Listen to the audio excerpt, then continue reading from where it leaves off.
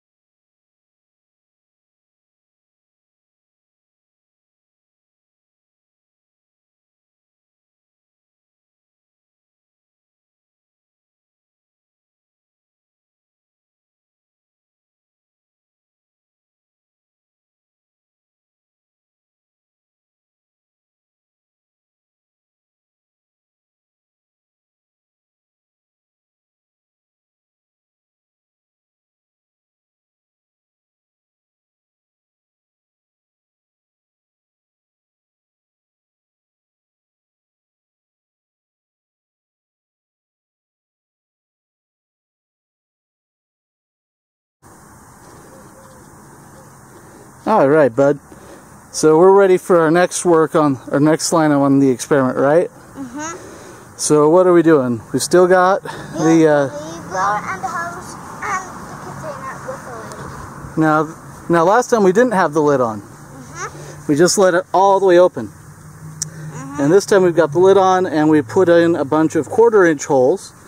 And we're going to see if giving it a directed output makes it to where we can change the density, but also maybe use a lower power on the uh, the leaf blower, because then we could do it more often and possibly um, with less risk of blowing out the motor. But we don't want to do a high power and restrict it on this end in the event that we blow out that motor, right?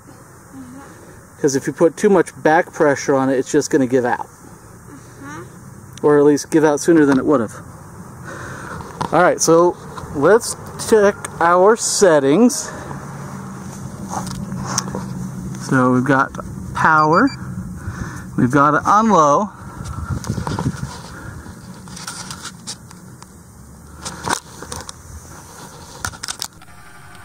Why don't you give it a little squeeze there, bud? See what it does. Ah, let go. Let go. Let go. Let go. Nothing was coming up, right? So we have a result. Not a result we wanted. Either the power is too low, or the amount of holes are too few, or the size of holes is too small. So let's go back and rather than adding more holes, we're going to make them bigger. So I've got a 3 8 inch drill bit, which would increase the output by another 25% per hole. So we'll just take each of those holes, just tap them out a little bit bigger, and see if that output flow increase works. I mean, we had air moving around in there because there's stuff on the tops where there wasn't before. but nothing really came out. Okay, so we've got the same setup that we've had. So same hose, same uh, leaf blower. The only change we've done now is we changed these holes from quarter inch to 3 eighths inch. Um, I did add like one or two, uh, just for good luck. And because I really don't want to have to replace a leaf blower. Because my uh, other half would not be so happy. So let's make sure we've got same settings here. Okay. Go for it, sir. That's going a little bit. Go ahead and release. I changed the power, brought it up to level 2. Go ahead, try it again. Okay. Now we're getting a lot of back pressure there. Go ahead and shut it off. We still have the leaf blower. Wait, wait, wait. Okay, well, we're going straight for it.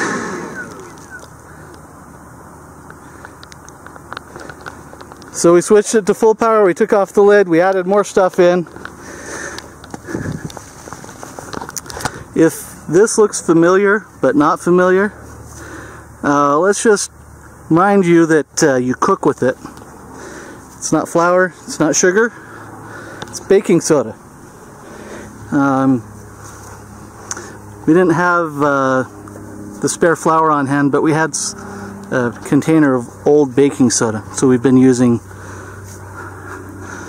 baking soda from that. It was a big, big, big bag um, that I picked up last year around Halloween for uh, a different experiment for Halloween, which was a lot of fun, and I'll probably do again. And you used it for, with ice. I used it with dry ice and vinegar, huh? Now, what we're going to hold on a second. We're not going to turn on the power yet. What I have here is a laser pointer. Now, a lot of laser pointers you can't see during the day, but there's a little blue dot right on my shoe. So if we have a hard time seeing this, this laser is going to make it a little easier. Can I try to do that? Nope. So it's on. Go ahead and squeeze.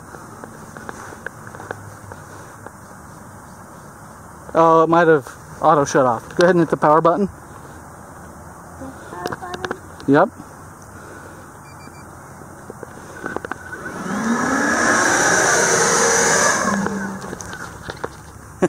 Do it again. You can really see that blue laser shining through. That's why I had uh, had Buddy wearing the glasses. I'm gonna put that away. Go ahead, let it rip.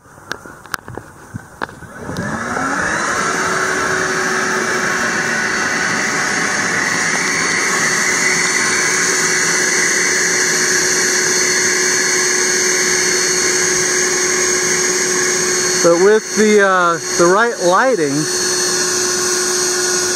you could effectively make smoke for a uh, a project without actually using fire.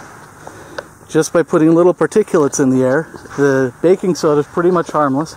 It'll change the pH balance of an area. Um, we tend to be a little bit alkaline in this area anyway. Um, so it'll be a little bit more alkaline than it would have been. That's not really a problem here. You can see even with the lid off. Go ahead, keep going. You can see with the lid off that even those chunks come through. So the more you're able to break that up, the better it's going to work. And you can see I've got a leak here. I went through and I used um, rubber cement to put everything together. And apparently when I cut it, I cut it poorly. I've got a little notch here. And I didn't see that when I was gluing it. So I've got to go back and touch that hole up. And that's why we're getting a little collection of stuff right here. But overall, uh, not a bad way to spend a little bit of time if you've got a couple extra things in a couple minutes. And of course, because it's directional, by having the uh, container on the end, um, you can make it go up, down, left, right, whatever. Um, if you wanted, you could probably just use the hose. You could probably extend the hose. Uh, if you extended the hose, you might want to start tapering it down as you went.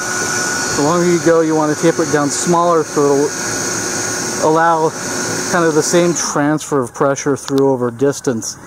Because um, it can kind of, just from the friction, lose strength. So tapering it down allows it to keep that going.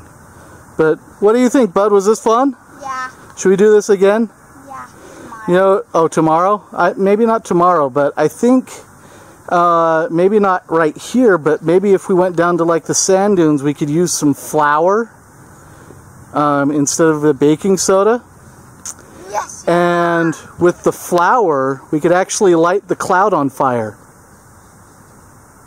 And because we'd be at the sand dunes, oh, did that blow your mind? because we'd be at the sand dunes, it'd be uh, really safe if we're out in, in actual dunes and not near any sagebrush. And it's getting a little cooler during the day, so it's getting to where it's not so bad to camp down there uh, with a regular tent. So maybe we'll do that in the next coming weeks here. Would that be super fun? Yeah. Yeah, I think we'll do that. But thanks for joining us. I am Paul. Um, I've been in photography for about 20 years. I do uh, a little bit of traditional photography. Um, my 9 to 5 or 8 to 5 is ophthalmic photography, so taking pictures of the back of the eye mainly. Um, but thanks for joining us and hope you come back.